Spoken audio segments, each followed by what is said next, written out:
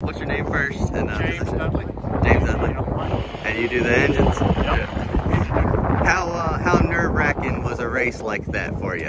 Um, the way our season's gone, I just was hoping for a top 10. So, tell you the truth, it wasn't. Yeah. Like, yeah, whatever happens, happens. Did you guys feel, did you feel like you guys had to perform today?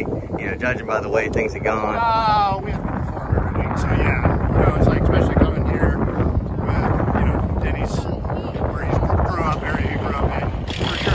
Uh, but, like I say, we, we're expected to win every, we expect to win every week. So, you know, when we don't run good or we have issues, then it's like, ah, Yeah, pretty, yeah. pretty disappointing. How exciting was that to watch him come from what 15 seconds back? I don't even know how far back he was Yeah. to, to steal it. I mean, it's like you got to do that sometimes on places like this.